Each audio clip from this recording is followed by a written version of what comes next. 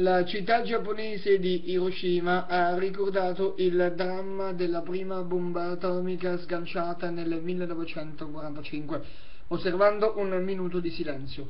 Un centinaio le nazioni rappresentate al Memoriale della Pace. All'evento ha visto per la prima volta la presenza di un rappresentante dell'amministrazione eh, di Barack Obama. Il sindaco non ha menzionato nella dichiarazione sulla pace le contestate norme sulla sicurezza in discussione al Parlamento. Il Premier Abe ha detto questo Paese vuole realizzare un mondo libero dalle armi nucleari attraverso misure realistiche e pratiche.